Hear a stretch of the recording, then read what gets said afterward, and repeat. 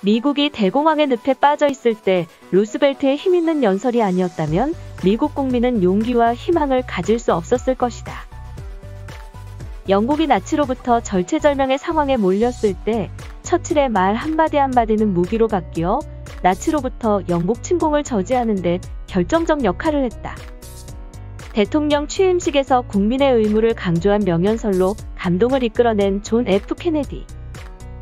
루스벨트와 윈스턴 처칠, 존 F. 케네디는 전형적인 사자형 지도자였다.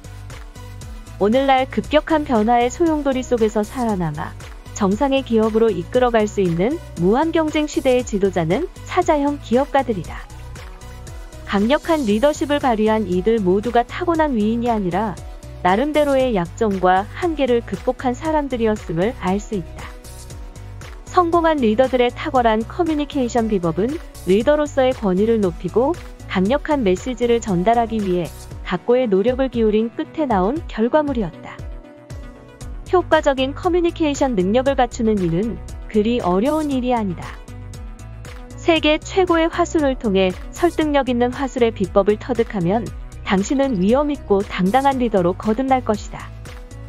성공한 리더들의 화술 법칙 시아 출판사의 세계 최고의 화술이었습니다.